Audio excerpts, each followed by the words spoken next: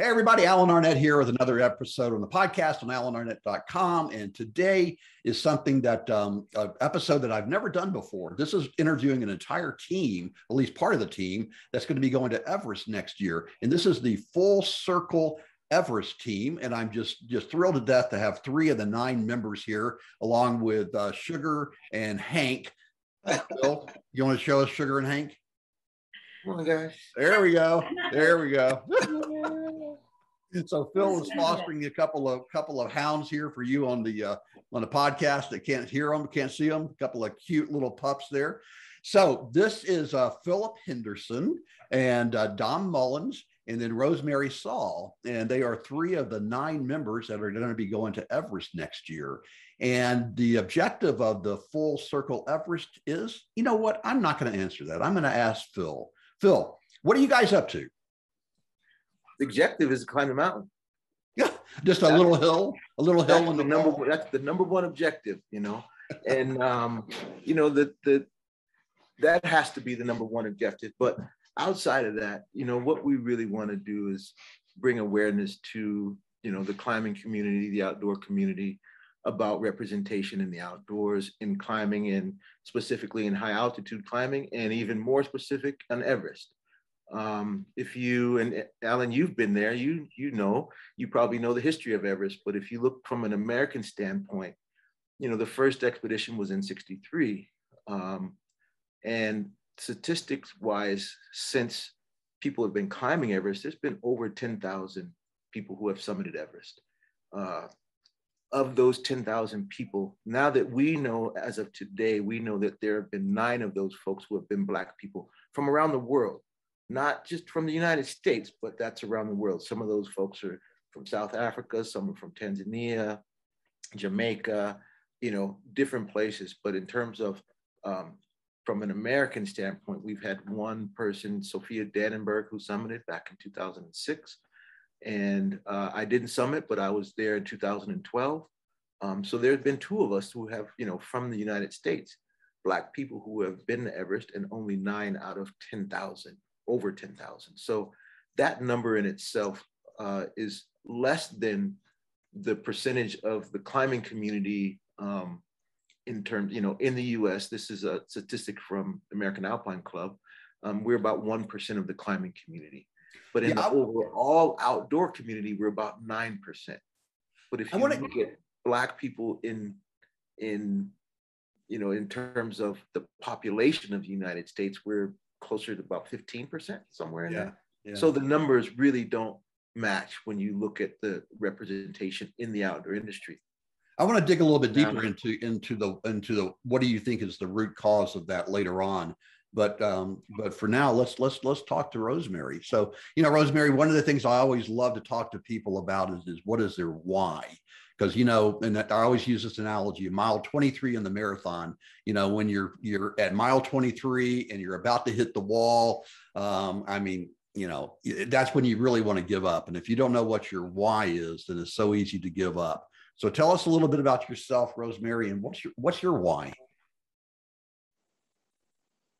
Oh, can't hear you. I was muted. Here we go. Here go. um, classic, classic. Um, but let me see. In terms of the why, that is a huge question. Um, just a little bit about me, my background. I am from Seattle, Washington originally. So I grew up surrounded by beautiful mountains. I've been looking at, you know, Mount Rainier my whole daggone life, looking at the Cascades, the Olympics, um, and surrounded by a lot of beautiful, wide open spaces and even still i did not grow up um, like in a family that got out and accessed uh, those spaces um, significantly like my dad was a skier he got me skiing at a young age and still i could not imagine a world in the mountains beyond a chairlift I would, you know, I'd look at, at the mountains and be like, oh yeah, people don't go there. That's not a yeah. thing people do. And so I just had no idea. Or um, I, yeah, I wasn't, I didn't grow up in a community that, that accessed those spaces. And so when I was eventually exposed to that in a program I did when I was, uh, when I was young, I uh, did a rock climbing course with a Seattle based organization. And it, it changed my life significantly. Like the reason that I'm sitting here on this couch on this call right now um, and being part of this like monumental expedition is just because of that exposure when I was young. Um, that I would not have had um, unless people like brought me into those spaces. And so I, when I think about that, it is such an honor and a privilege to be able to spend time and to recreate and to explore um, these these aspects of the earth. That on one hand, it's foundational, like it is the earth. That is public lands are public lands. They belong to so many people, and yet they are so inaccessible to so many folks. And so that's a huge part of my why is again recognizing that um, privilege and recognizing how profound an impact that that can have on folks. And again looking at you know starting with myself looking at how significantly that um, impacted the trajectory of my life. Like i don't know where i would be or what i would be doing if i had not been exposed to this world and to this community. Um, i am just so uh, honored and so excited to just continue to broaden that access and continue to um, just show how uh, life changing and and fun spaces like these can be. Because that's another thing. There's like this image of like, oh, like you go outside and like, oh no, like that's this that there's just so many notions or like like that people might have or misconceptions about like, oh, that can only be intense, it can only be hard, or only a certain demographic, a certain type of person gets out there. Um, right. And so I'm like hyped at like, no, that's not the case. Like yeah, it can be a good time. It can be fun. It can be hard. It can be challenging. It can be so many different things. Let's like yep. change that. It's yeah. What you, it's what you take out of it, I guess. Yeah, exactly. Exactly. What you put in, what you take out. And it can look so many different ways. So Dom, you're um, I mean, I don't you're an Iraq war veteran. Thank you for your service, sir. Um, glad you're home and contributing this in this way. Uh, you know, uh, you're one of the three PhDs on the team. We were joking earlier. I was joking earlier with you. This is going to be the most educated team on Everest in, in 2022. Uh, you have a PhD in sociology from um, the Graduate Center in the uh, City University of New York. So, from a so rather than the why, let me ask you a, a different type of question, Dom. Why do you think that Black Americans have not uh, are underrepresented when it comes to outdoor activities and things. From a sociological perspective, do you have a um, thesis on that? I actually think about this quite often. Hmm. And um, the thing that resonates most with me when I think about it is the issue of social capital. Hmm. And social capital really just has to do with the idea that knowledge is shared amongst people that you know, right? And so, um, you know, if you grow up, let's say, you know, riding BMX bikes or uh, like I grew up uh, rollerblading and skateboarding, you know, my social capital, my community at that point when I was a kid was had social capital in it that was conducive to me learning how to rollerblade, how to skateboard. But if you grow up in a, such a community without the social capital ready to help you learn certain things like how to hike, how to camp, through camp, how to rock climb, how to ice climb, uh, then those things are beyond the scope of the reality of your life. Um, and to actually uh, gain an opportunity to learn how to do them would be very rare without the people around you who have the knowledge of how to do those things. Um, so for me, I come from a very di different background than Rosemary. Um, um, rather than the Pacific Northwest, I actually grew up in New York City, in Brooklyn, New York. And, uh, and I grew up in the first 10 years of my life nearly were in uh, Coney Island and then, uh, and then Bedford Stuyvesant. So, you know, the world and, you know, my imagination as a kid wasn't, you know, grassy meadows and rivers and rocks and trees. It was concrete and perhaps the beach that skirted the edge of the concrete world that existed for me. And so I only learned an appreciation really of the out, outdoor and outdoor spaces uh, when I was when I served in the military. Um, and so um, it, I didn't have the social capital to learn how to camp and hike and do things like that in my youth until I actually went in the military. So uh, because I was in a combat specialty in the military, I was an armor crewman. Uh, I spent a lot of time outside and uh, regardless of how grueling that experience was, I actually learned uh, to appreciate nature and just being uh, really an animal, a living thing in nature um, at that time in my life. Fantastic. Um, hey, Phil, um, yeah. you know, I know that uh, one of your members on the team, um, let's see, I guess it's um, Abby Dione. Uh, she has a she's an AMGA certified climber. So I mean, you guys, I'm, I'm we're going to poke on the on the background a little bit, climbing background, but you really are an impressive group. But um, you know, uh, talking about the climbing gym, and I forgot which individual um, also does uh, um, mentors youth in Atlanta and in Memphis. And the Memphis caught my ear, Phil, because I, am born and raised in Memphis, and I saw the film uh, Black Ice here recently with Conrad. And oh my gosh, what a! I mean, I, I, that just touched my heart in so many different ways. It made me laugh, made me cry, made me smile. But um, you know, I know that one of your objectives is to try to use this um, the full circle to reach the youth. Can you talk a little bit about that? Yeah, um, that's been a goal of mine for a number of years. And I just think that uh, as as a team, us individuals at this level, it's kind of a um, we're up, it's an obligation for us. Like Dom was saying, you know, that social capital can nowadays it doesn't have to be just in your neighborhood. That social capital can come via Instagram, or these social media, you know, versus so many different ways nowadays, and that we have a uh, we have a, an opportunity to provide that social capital for young people, for young people of color. Um, we mentioned in um, about Atlanta. So our right now we have a fiscal sponsor of the Greening Youth Foundation. It's an organization based in Atlanta. Um, they provide uh, education for for young people and job placement. So they brought me out. This was in 2019. They do what they call a legacy camp out, where they take uh, elementary school kids and they do a camp out at uh, Martin Luther King National Historical Park.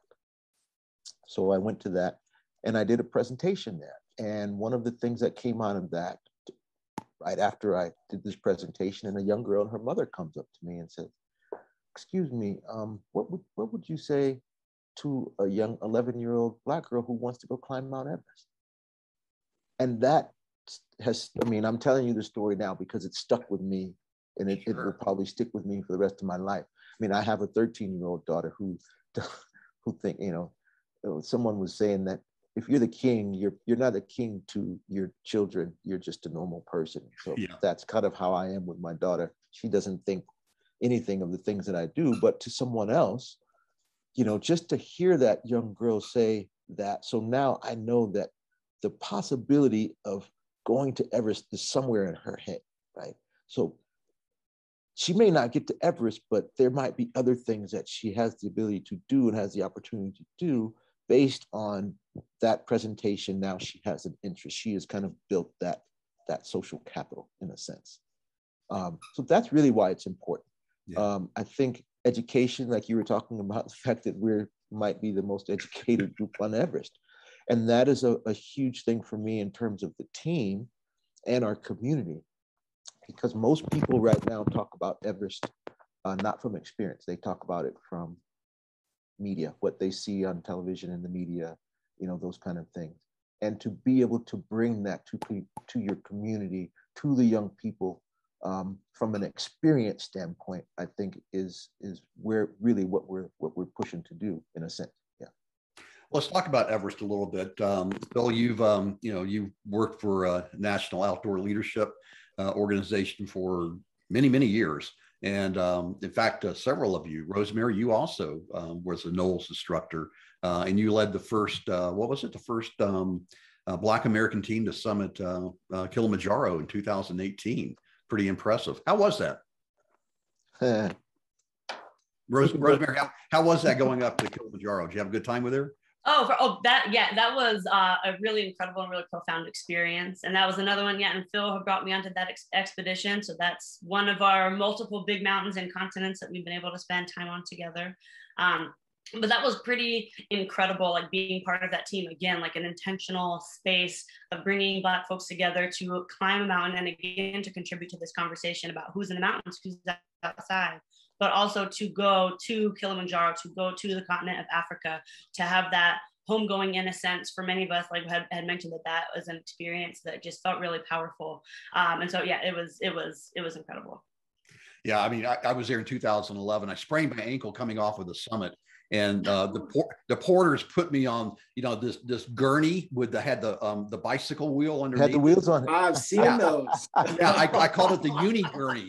And, and, and these guys, they they thought, I guess they thought I was having a heart attack. I don't know, but they literally ran down the mountain, you know, with me in tow, three on each side. And I, I got down to I, I, what the last camp before you get down, and finally um, we decided to go ahead and take me down to get an X-ray to see if I'd broken my ankle. But those porters, I mean, I just cannot say enough Wow. Enough about them. Um, so, uh, Dom, we touched on the training for Everest a second ago before we started uh, recording this. So, tell us a little bit about uh, what how the team is training for Everest, and then we, then I want to come back around and Phil and have you talk a little bit about the you know the boring logistics of you know who you're climbing with, your climatization schedule, all those things that all the uh, mountain heads will really like to hear. But let's talk about training first, Dom. Yeah. So actually, Frederick Campbell um, is um, What are your teammates? cl- yeah, one of the teammates, and also the sort of um, the climbing team director. And so he is leading the training effort, and we're really f- focused based on um, Fred's uh, suggestions. We're really focused on Steve House's work in the uphill athlete, so building endurance. Um, I just actually did my uh, 10K run this morning and showered up before I came here to sit down and talk to you. So I'm kind of glowing from that. so, is is everybody on the team? do- Have you uh, personalized your training schedules? We ha- we ha- go ahead, Dom. Yeah, yeah. Um, I, I know that everyone in the team is uh, personalizing their training schedules and, and, and working on building their own metrics. And so, and that uh, Fred is is is heading up that effort um, and monitoring people's progress. So we might add that Fred has a PhD in statistics. So I'm sure he's using um, what it- the uh, application. Um, what is it? The um, uh, peak training, uh, training peaks. Yeah, to track everybody. So, so, so Phil, the um, the logistics of it. So who who is um who's who you uh, who are you climbing with? Who's doing your logistics? So uh, logistically, we have our, a, a Nepali outfitter, a Sherpa outfitter called Xtreme Climbers. Um, Panudu Sherpa, which is, you know, a lot of people know Panuru, but if Panudu from Phortse. Yeah, yeah. And um, so yeah, we're we're we're going with them. Um, I've worked, you know, I've worked with the climbing uh, KCC, the Khumbu Climbing Center, for a number of years, and so I've worked alongside with Panuru and and Jiban and those folks, you know, that are based in Kathmandu um, over the years. So we have a pretty personal relationship and you know family relationship. My my family's been there, so it really is kind of a family affair in that sense. Um, and we really went with you know we went with them because I, that's another thing is that you know when I started in 2006 going to Nepal, you know, I think a Nepali outfitter didn't exist then. So now we want to push forward 15 years and realize that you know folks from Nepal and the Sherpa community are, have gained so much experience and skills over the last few years that they're able to run their own outfits nowadays. You know, and so to me that is another change in kind of the historical way of of Everest expeditions that are mostly you know Western outfitters um, that we now have Nepali outfitters. So those logistics, um, yeah, we're looking at uh, basically the kind of the 60 day um, format, you know, fly in the fly into Kathmandu, fly to Lukla, hike to Namche, take a couple rest days, go to Phortse, spend a few days in Phortse.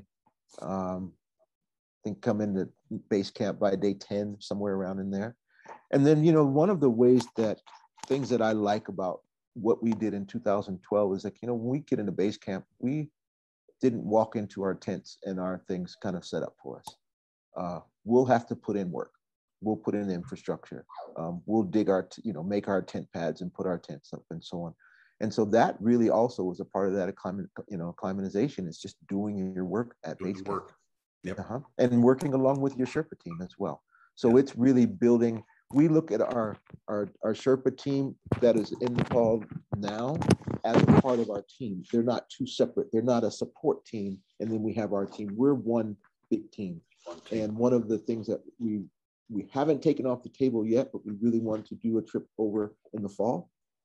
Um, you know, hopefully go over and back before Thanksgiving to kind of build that connection with our team uh, so that we know each other. You know, that, you know, Dom and Rosemary and the other folks, they get to know those folks there. They get to eat the food.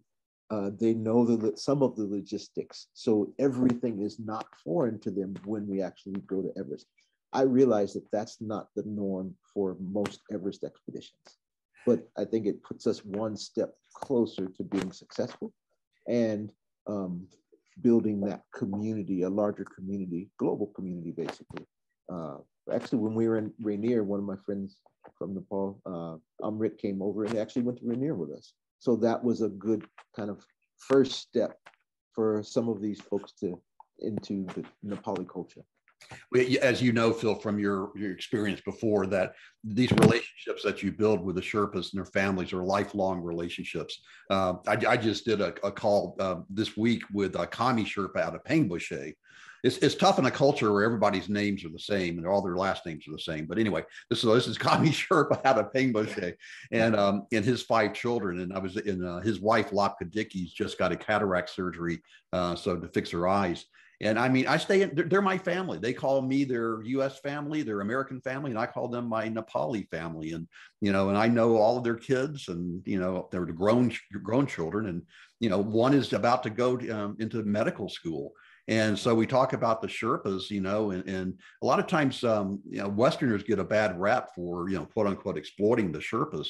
Uh, but uh, the reality is, I think that through uh, tourism and commerce, that we actually support them and we give them an opportunity to take that money and to reinvest it. In, and they have the same dream everybody does, and that is to have a better life for their children.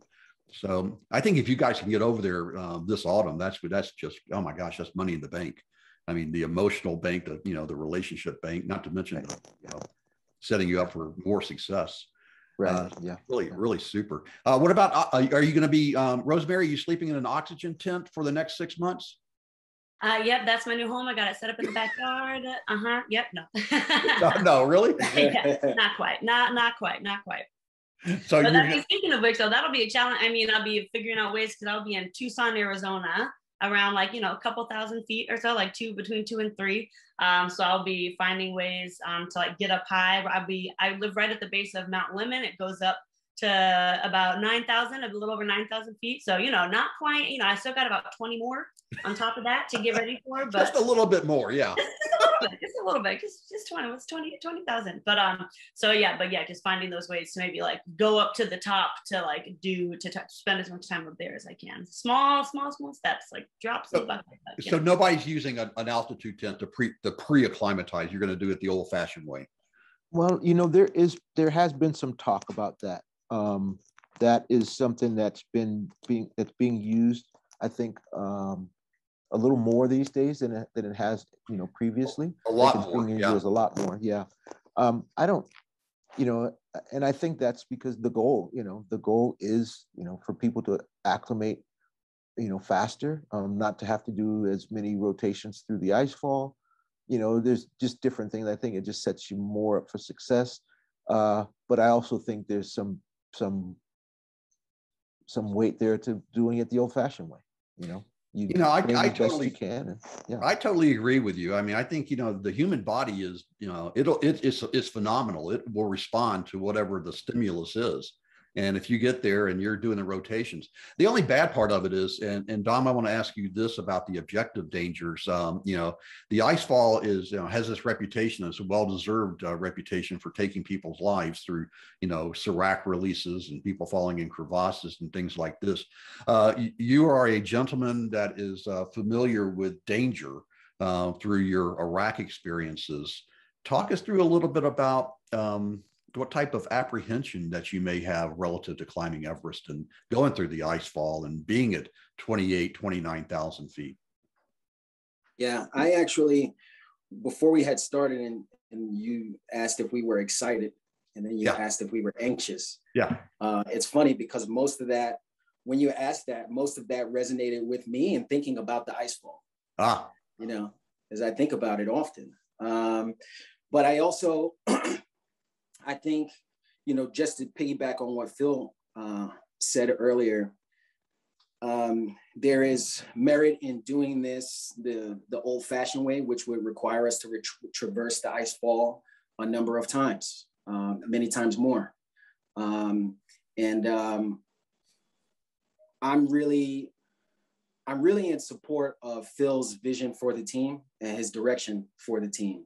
And so if if the team, if if Phil's vision ultimately comes down to that, you know, we're not we're actually going to kick this tent idea and um, and climatizing in tents, and we're actually going to do this the old-fashioned way. I'm I am um, I really believe in Phil's leadership, and I really believe in Phil's vision, and um, and I want this I want this project to sort of align with Phil's vision for for the athletes. And so if that's the way that we're going to do it, then you know I'll put my hands on the table to uh, you know to contribute to that effort um, to do it the, the old fashioned way. And that is, you know, um, obviously being cognizant of the ice fall risks.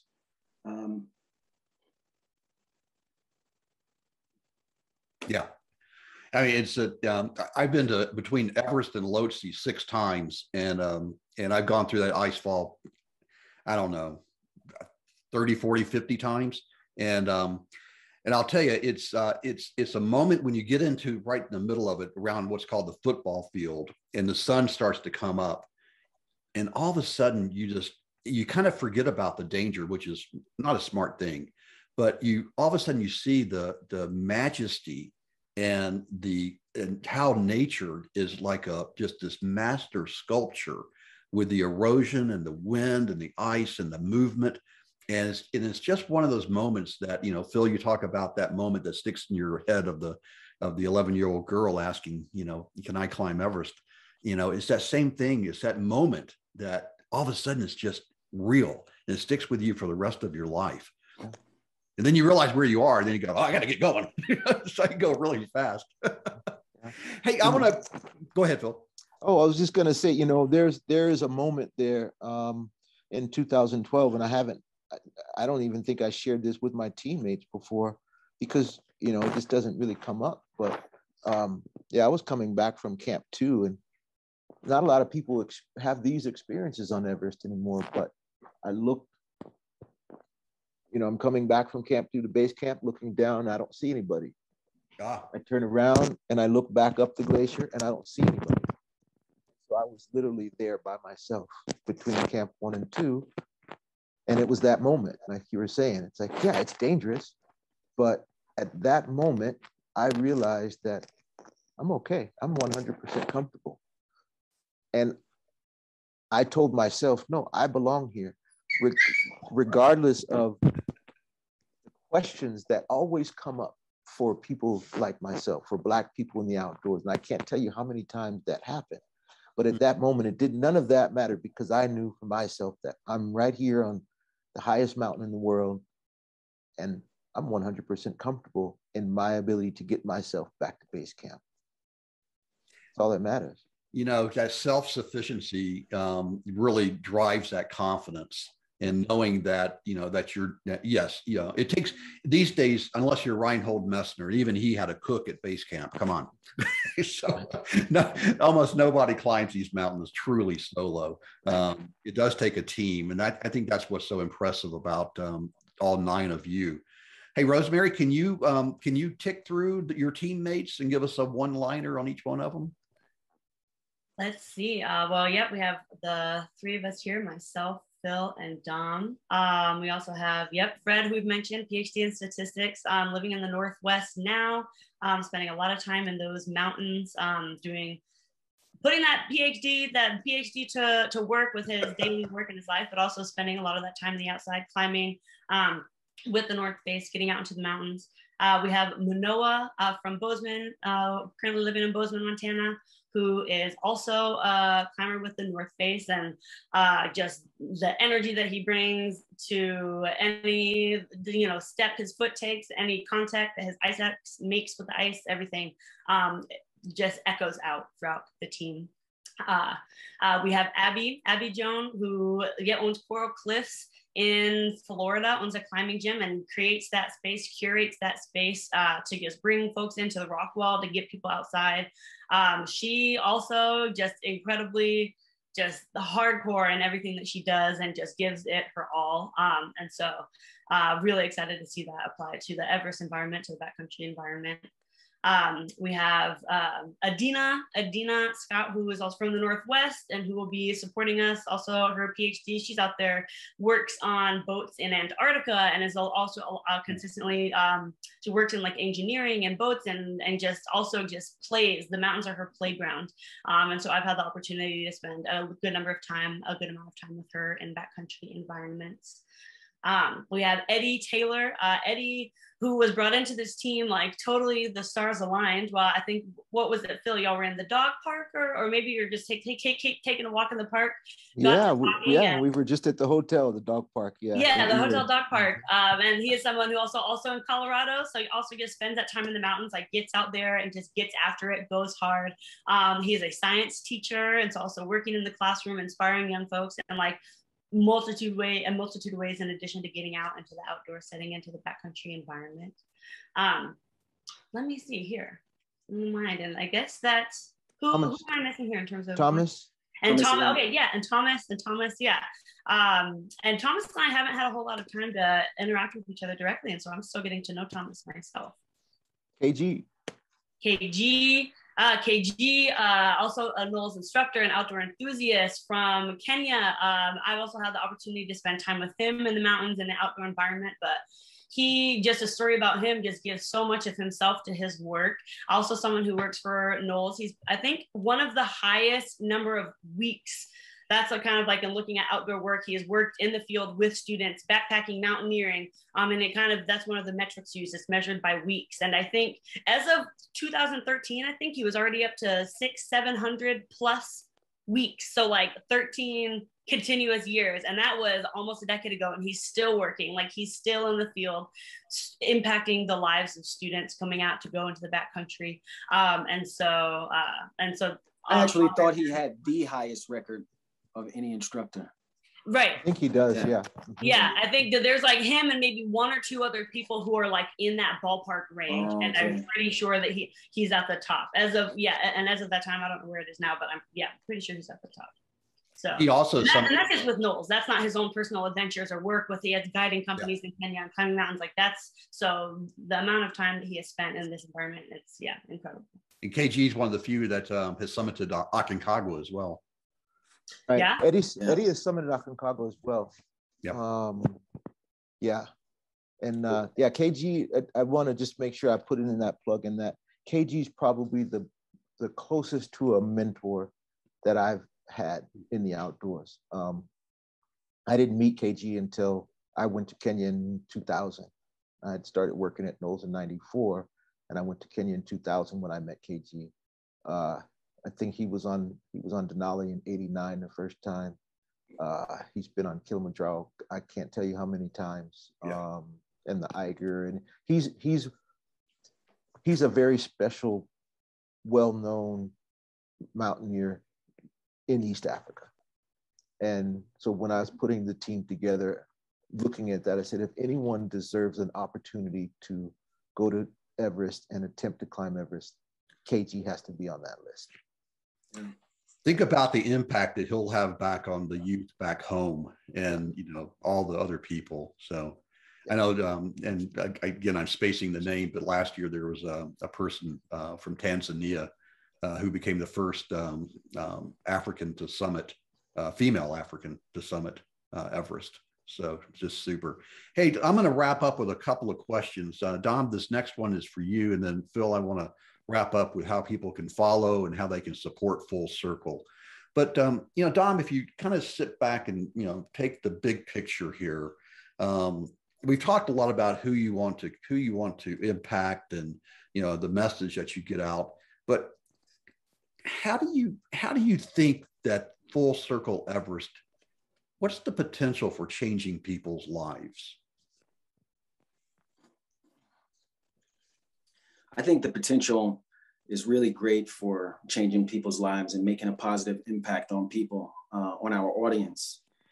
And I'd say this particularly um, from my background, where um, I only became interested in climbing after uh, having served in the military.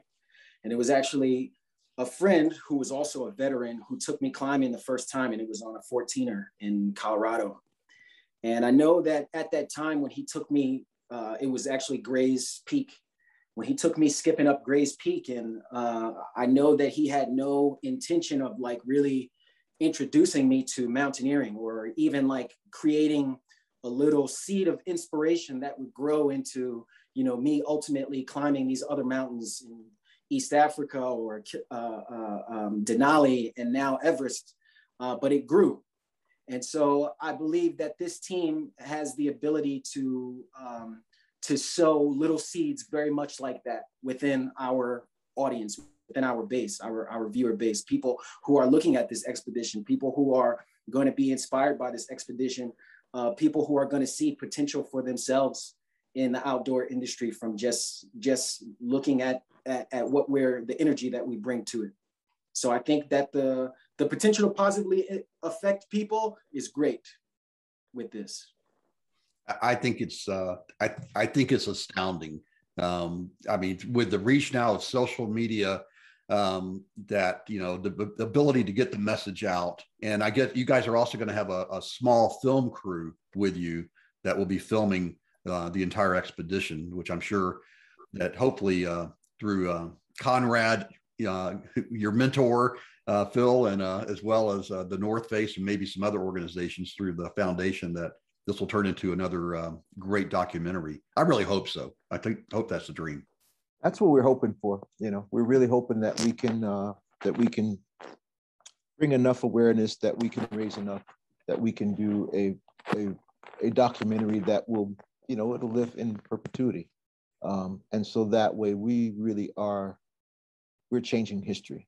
Yeah. And, and I think it's, again, you know, social media and it just, you know, the advancement in technology and so on allows us to do that. But bottom line is you still have to go to the mountain. You still have to put one foot in front of the other, right? And so like I go back to what I was saying, like, what is this about? Well, bottom line, it's about climbing Mount Everest and having people have that experience and I'm 100% sure that we will have multiple summoners. Um, oh yeah, you've you've been there. You know how it is. It's like there's always that opportunity that everybody doesn't summit. That happens. You know, it's it's, it's a matter of when things happen, not if they happen, right? So if you have time to recover and so on.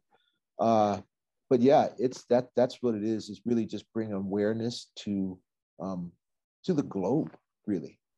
You know, um, a year ago, you know, the world was looking at, mm.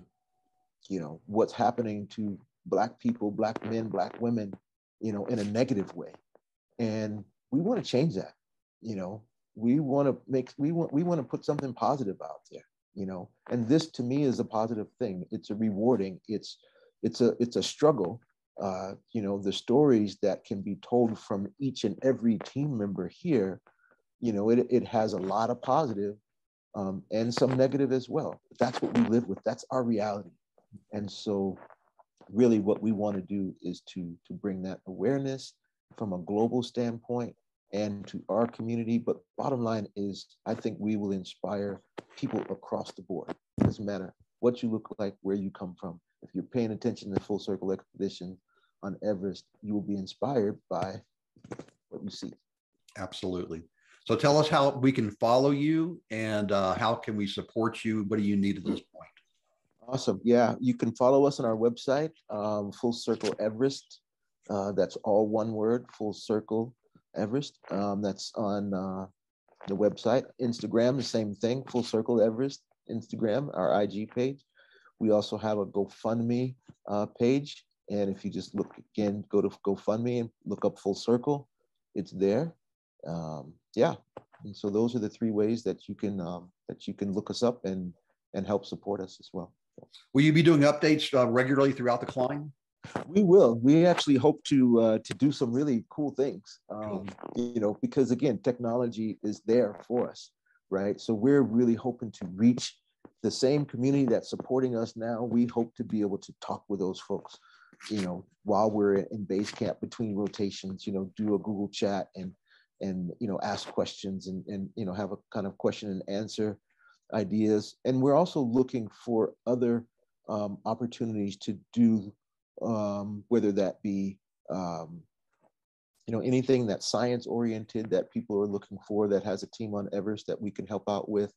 Uh, I know there's a lot of folks who may have um, time lapse cameras that are in the Himalayas that the cards need to be you know retrieved and things like that. Um, you know there's there's there's some geological things that can happen there. So I'm sure there are things that happen on every every year from a science based aspect, from a social based aspect, from a, a health based aspect, all of those things that we're really open to uh, to providing our expedition to help support those efforts as well. So one of my first expeditions on Everest, uh, I participated in a university um, uh, test to figure out how altitude affected you. So, Dom, you'll appreciate this. So, at base camp, they would ask you this question like uh, it would be um, uh, so. Uh, um, Ro- Rosemary got in her in her red car and drove down the street to get an ice cream cone. What color is Rosemary's car? Okay, so you're at base camp and you say it was red. So then you're at camp three at 23,000 feet. You're on the radio. So Rosemary got in her red car and drove down the street to get an ice cream cone. What color is Rosemary's car? Uh, uh, who's Rosemary? Uh, who's, yeah, who's Rosemary? so yeah, I, I hope you get to participate in some of those type of studies, but uh, it's it's very humbling, I tell you. Um, the technology at Basecamp is just really amazing now with Everest Link. Uh, it's pretty good upload speeds. You can do, you know, you can do those Google chats or FaceTime or whatever, uh, and send back, you know, real time videos, and it's just amazing. And Phil, I would love to do an interview with um, part of the team. Maybe I've done this before with other uh, outfitters uh, all around the world. We did some from K2 last year on Zoom uh, just wow. to check in for two or three minutes and just see how things are going. And oh, yeah, yeah. I'd, I'd, I'd love to see a video of Rosemary of you petting a yak. So they're,